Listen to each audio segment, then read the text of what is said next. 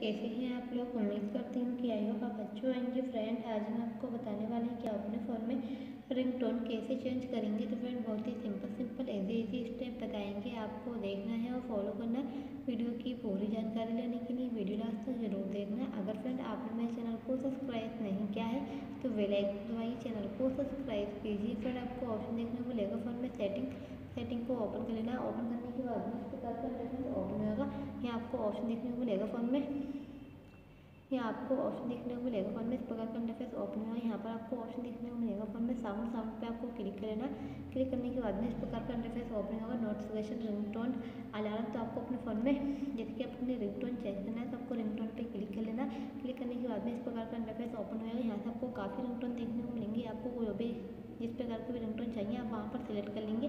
तो यहाँ से आपको अपने फ़ोन में रिंगटोन जैसे कि आपको जो भी चाहिए, आप यहाँ सेट करेंगे और इस प्रकार अपने फ़ोन में रिंगटोन चेंज करेंगे यहाँ पर आपको इस प्रकार के रिंगटोन देखने को मिलेंगे ओके कर लेना। तो इस प्रकार अपने फ़ोन में रिंगटोन चेंज करेंगे।